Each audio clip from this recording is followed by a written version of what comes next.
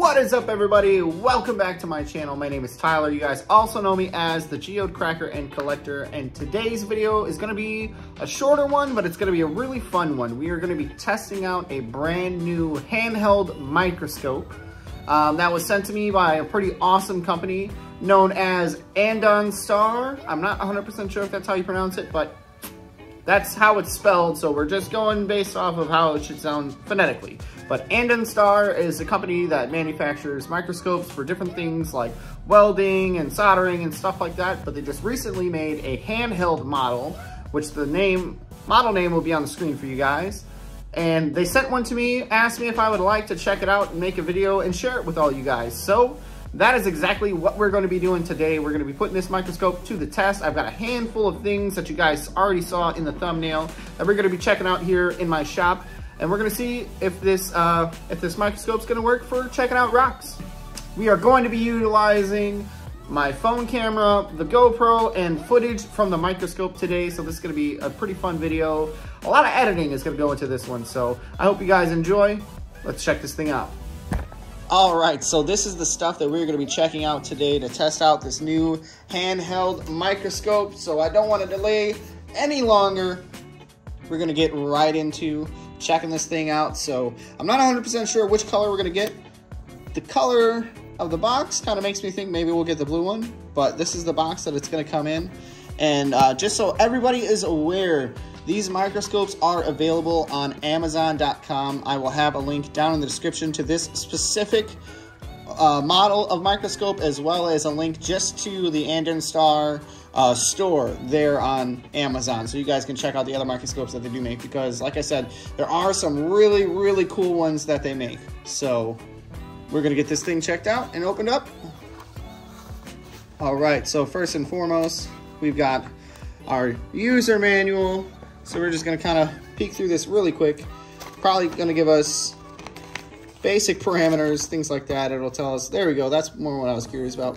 What exactly is gonna come in here? So we've got the microscope, we've got a carrying pouch for it. Looks like we've got a charger cord as well as um, a little lanyard. So I definitely suggest putting that thing on there as soon as you open it up because that's just attaches to the device and wraps around your wrist so you have no no chance or a decreased, highly decreased chance of dropping the device and doing damage to it if you've got it wrapped around your wrist. So looks like that's the same information. And we're gonna get right into unboxing this bad boy. All right, there we go. That is the device itself. What do we got here? Oh, so it does come with a 32 gigabyte micro SD card. So that is very convenient. Don't need to worry about grabbing one of those. In addition, We've got this little bundle of things there we're gonna set off to the side and then we've got the device itself. We're gonna set down, make sure nothing else in the box. All right, we are finished with the box. We're gonna set that off to the side. And let's get this out of here. I think we've got, yeah, sweet. So we do have the black one. Very nice, very smooth. Doesn't feel super plasticky. It's got a very nice texture to it. I enjoy that. That's very nice. Does have a mobile screen there. Ooh, hello. so you are able to see what you're looking at along the way. Oh, here we go. This is, oh, I love doing this. So satisfying. Quiet truck.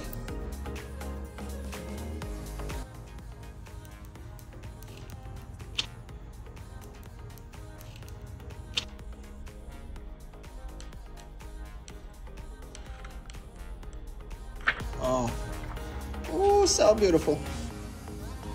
All right, and we're gonna hold the power button down. Ooh, a little, little song there for you. And, ooh, look at that, my fingerprint. All right, don't, don't go commit any crimes. All right, we're gonna power this off really quick. And uh, let's see what's in this little bundle here. So, like I said, we do have a pretty nice, ooh, pretty smooth uh, carrying case for the device, which is very nice. Here we go. This is the little lanyard. So there's a loop. You just stick that end right through there. And hope, yeah, there we go. I'm gonna say, hope you don't struggle like me. And then you just run this side through. And there we go. So like I said, now put that around your wrist, sitting there looking at, you know, something super awesome and it amazes you so much you're like, oh, oh, okay. But it's safe. All right, so like I mentioned earlier, we're gonna utilize the GoPro as well as this camera here. So give me a second, we're gonna kind of move things just a little bit. I'm gonna turn the GoPro on, get that mounted to my chest while I get the SD card put in and do the first interaction with the device so you guys can see up close and personal how that's gonna go. So give me just a moment. All right, so we've got things set up with how we're gonna do this. Uh, we've got our overhead view hanging out right up there and we've got the GoPro view right down here for you guys. So we kind of get um, a couple different perspectives, give you guys a good idea what this thing's going to be like, how it is to interact with it, and uh, overall what to expect from it. So, first and foremost, I think it's important that we get the SD card put in. So this area right here kind of opens up. All right, there we go. And we can see right inside of here. That's where we charge it and that's where the SD card is gonna go. So let's go ahead and get this inserted. Oh, make sure you put it the right way.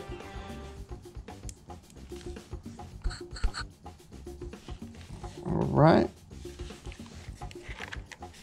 And we are good to go to get this thing uh, powered on.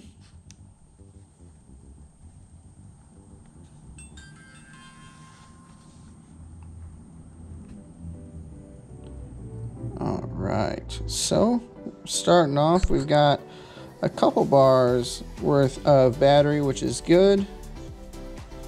Uh, 1080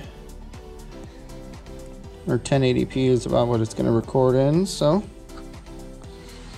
let's uh, go ahead and check this out. So uh, we're also going to have some clips from the actual microscope itself um, kind of tossed in here as well. So really gonna get the full experience here. So pretty excited. Wow, starting off really beautiful. Beautiful picture. That camera does very well. So that also means that any little vibrations or anything are gonna kind of be, you're gonna feel them and you're gonna notice them. Um,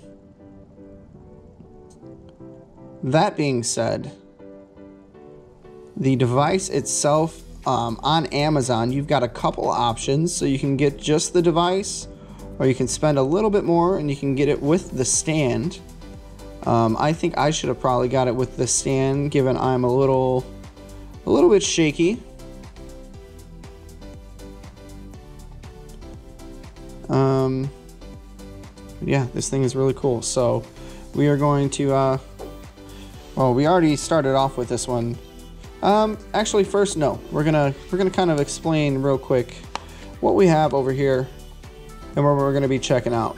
So we've got a couple of different things. I asked on the Discord what folks wanted to see. I got a couple replies. So uh, one thing for sure was the blue barite. So we've got a geode here from Keokuk that has got some blue barite in there. That's got the most abundant barite or the of the crystal growth of the barite. So that one's to be really cool to check out.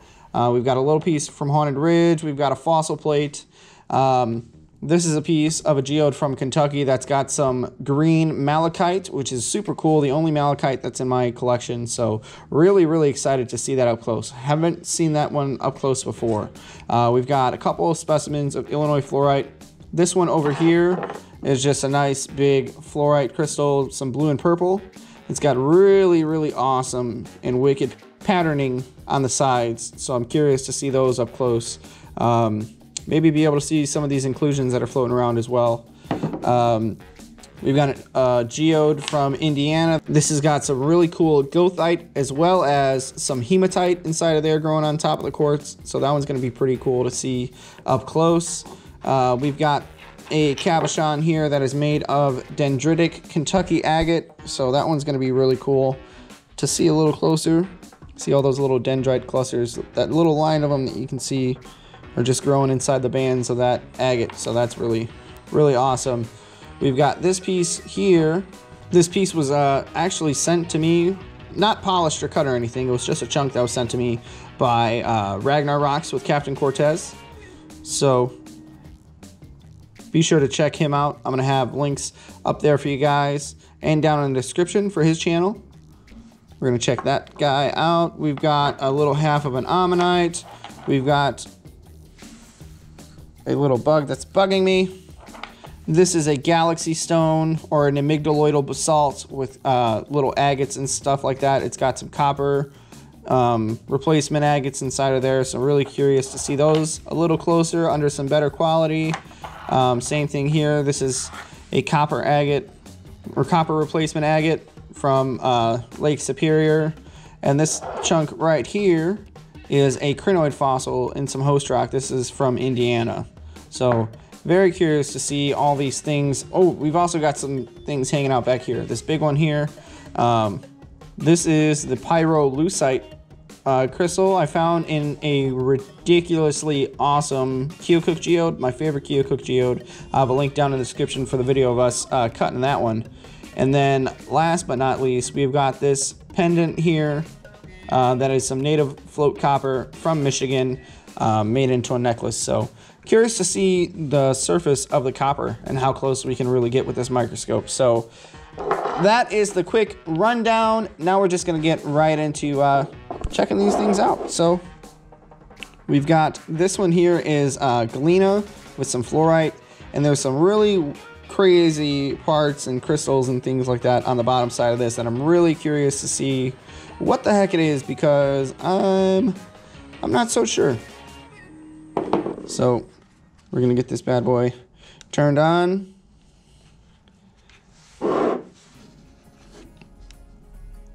Take two. There we go. Make sure you push the button down long enough. So this does have the capability to record in video or you can press this M button over here and that will switch it over to photos and then um, you uh, just click away. Photos are going to be a little bit hard for me because uh, yeah, because my hands are a little shaky but. All right, let's get back to the video. So right about now, we're gonna switch over to uh, the recording from the microscope.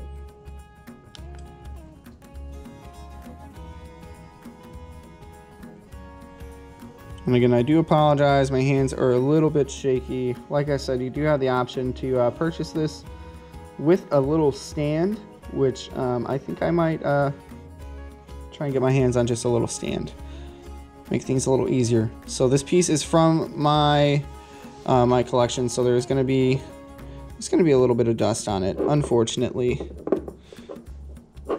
But that is all right. Let's see what's in those uh, in those dust bunnies, huh?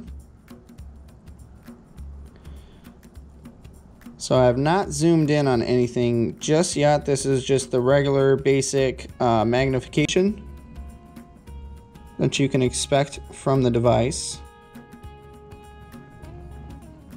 Um, now I know you guys are seeing this on the screen as well as hearing my voice, but this is just a voiceover.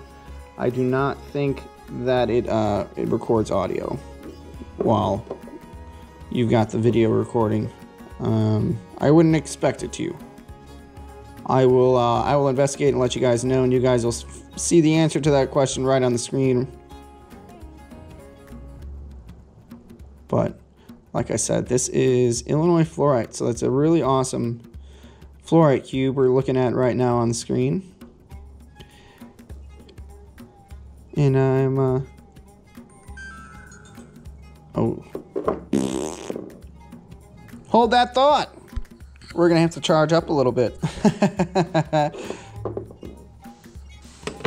but I guess that brings us to the next thing in the bag that we didn't look at charging cord. So I'm gonna get this plugged in and we'll be right back. All right, so we have gotten readjusted here. Uh, we kind of rearranged, reset some things basically, and uh, we are all charged up. I don't think we got to a full charge, but we're charged up and just enough. Um, and uh, we were able to save uh, that last clip. I mean, you saw it cut off um, a couple seconds before we actually fully lost power, but we're just gonna hop right back into it and uh, we're gonna check some things out. Um, I don't think we'll get to everything here, just uh, we'll get through a handful of things so we don't have this video be too terribly long. Um, but there will be plenty of photos at the end. Uh, we'll have photos of everything, everything here under the microscope. So if you're uh, hanging out for the slideshow, it's coming soon. Don't worry. Um, yeah, I really want to check out. Uh, this is the chunk that's from Kentucky that right in here has got some green uh, malachite. We're going to check that out and uh, switch over to microscope cam.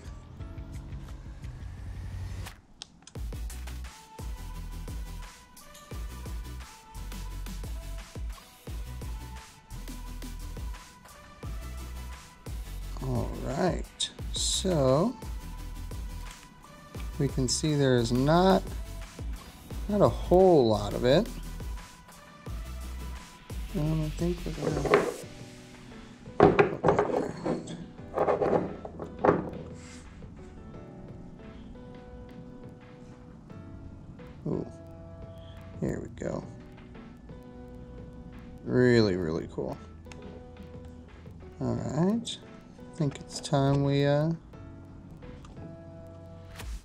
this bad boy in.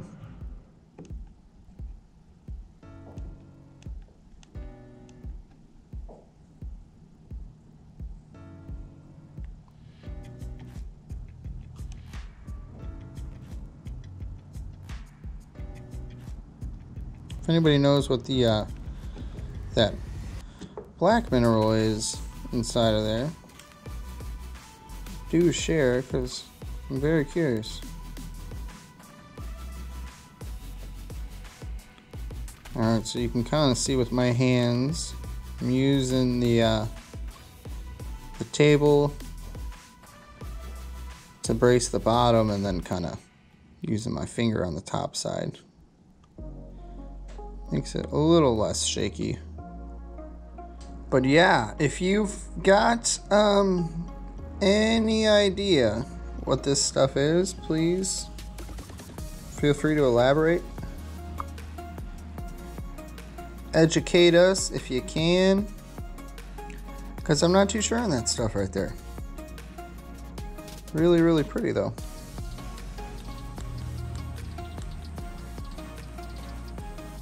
Really, really nice. All right, let's uh, power you down. In the meantime, let's turn this back on. Let's check out this one right here. So this was, or this is a, uh, what I believe is a crinoid fossil in, uh, in the host rock. It's got some really interesting uh, crystal structures on the bottom side of, uh, yeah, so Let's uh, let's check her out. Let's see.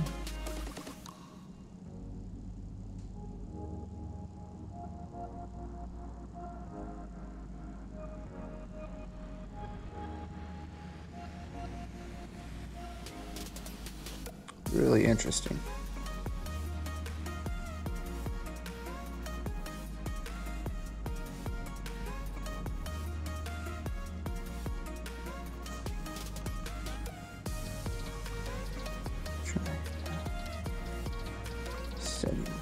bit, sorry.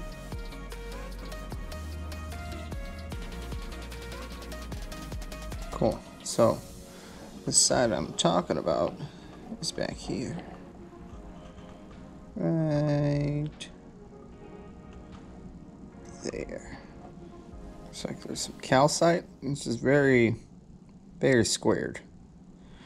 Very squared corners and where it broke in there. Definitely has that uh, a calcite shimmer to it. That's for sure. So, really cool. Shout outs to, uh, to Noah of uh, Mobile Outdoors for uh, requesting the fossils. Next up, I'm just kind of using the uh, big big geode there to uh, to kind of help. So this is the uh, the Keokuk geode that has got some blue barite inside of there, which that's what we're looking at right now. Oh wow, it looks frosty almost, or fuzzy. And I'm very curious what those little specs are. So let's zoom in here. See how close we can get.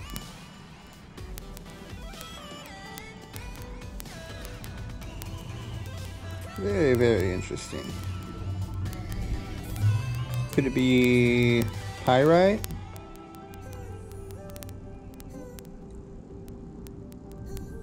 There's like a whole little line of them over there. Hmm. Curious.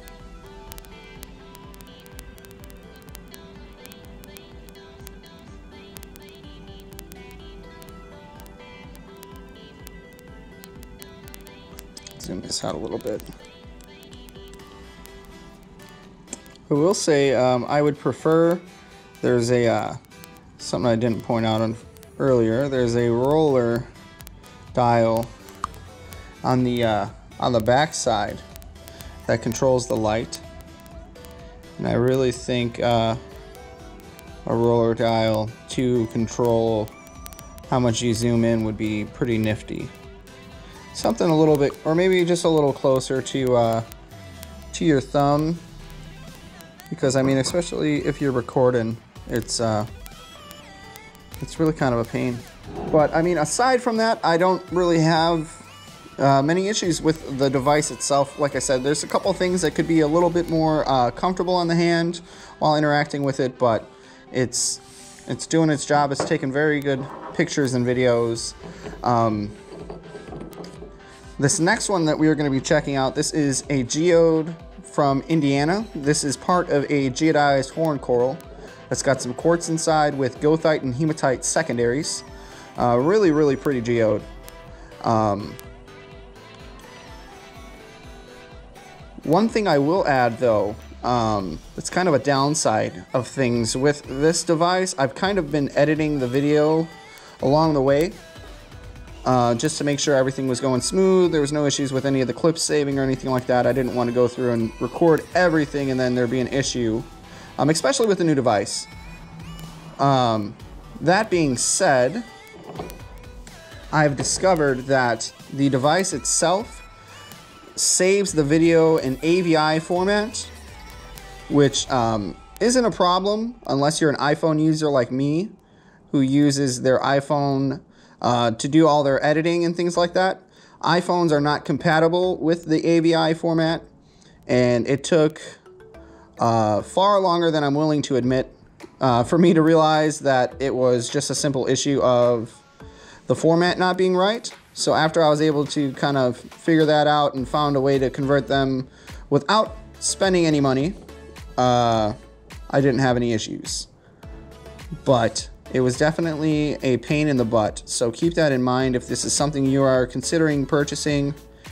Um, it can be it can be a pain. This goethite is really really beautiful. I love that there's just little clusters of it or uh, I know it's probably not the right term, but I call them sprays, just little groupings of them. To the naked eye, they look like little balls, and then you uh, you get to zoom in and see them, and they're actually little clusters of needles, which is really, really awesome. Um, one more thing I would like to add um, that I'm not super happy about with this device. Uh, now it appears, and I'm not 100% sure um, if it's maybe because I'm having to convert the files, but upon reviewing the videos, once I got them onto my phone, um, whenever we looked at something and we went to zoom in, I'm sure you notice in the uh, in the video itself, um, it doesn't actually zoom in in the recording. It will stay at whatever magnification it started off in. So there were times where I was zooming in, but I had to go and manually zoom those clips in. And I mean, it still kept the resolution and everything like that. It still looked good. Um, but that is kind of disappointing that um, the video doesn't actually record what you're seeing on the uh, on the little screen because on the screen while we're recording it's zooming in along with it but the actual file itself does not so that's a little bit disappointing and a little frustrating um, but then again I'm using this probably in a different way than most people are going to use it in. So don't let that be the main deterrent from it. It does take fantastic photos and videos that you guys are going to see plenty of the photos at the end. I know there's a whole bunch of stuff still sitting out that we didn't really uh, get a look at um, actively in the video, but I promise there will be some photos at the end for everybody. Uh, but the last thing that we're going to take a quick peek at is uh, this cabochon here. Now, I'm sure some of you are noticing that is a, a different cabochon than the beginning. Like I said, this has been recorded over a couple days, and uh, my little guy Dallin kind of walked off with the other one. So this is the same uh, type of material. This is just a bigger cabochon um, that we're going to look at. But this is dendritic Kentucky agate. That's really, really awesome. My favorite find, probably the craziest uh, Kentucky agate that I personally found so far. But we're to get this thing checked out. Let's see what we got. We're gonna kind of move this way some so I get a better hold. And uh, let's start this recording.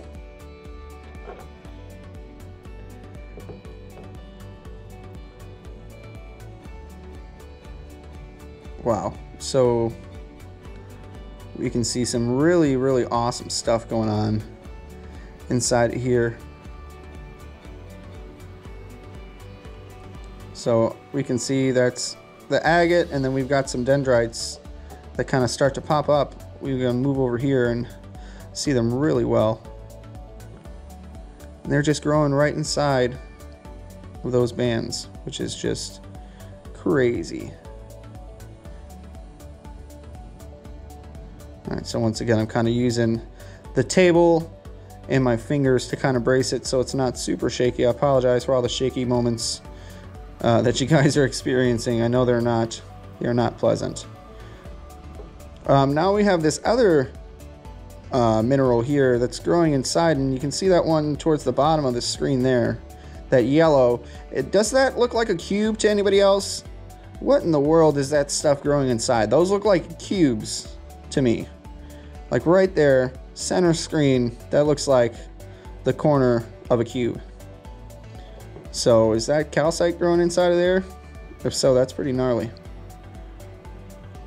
Really, really beautiful bands in this stuff. We got some dendrites going on in the in the red agate as well, not just in the banded stuff. We have a really pretty uh, crystal cavity up here as well. Check that out. It's a little uh, a little dusty.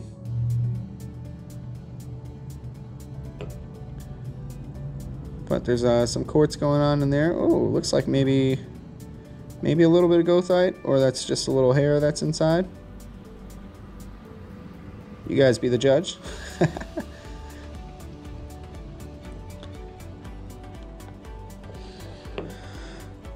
Stop that one and uh, start again on this side.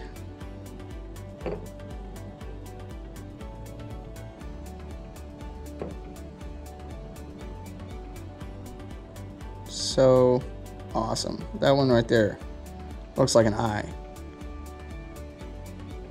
It's got the pupil in it and everything.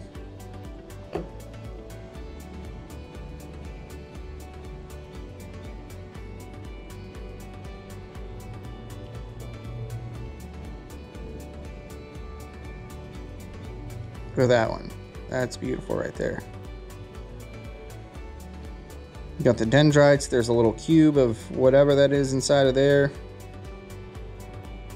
That's pretty.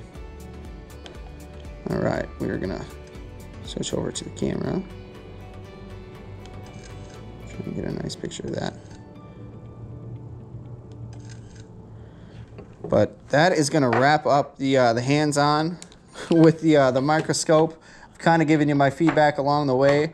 All in all, um, if you're not going to experience massive headaches or issues with uh, the files saving in the AVI format, um, then I think you're you're good to go. If you're someone who's strictly you know on your computer and you're just gonna you know download and upload to Facebook or just keep on your computer for yourself.